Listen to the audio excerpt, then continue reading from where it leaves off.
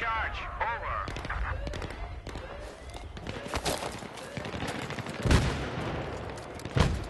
Be advised, we have defused the charge.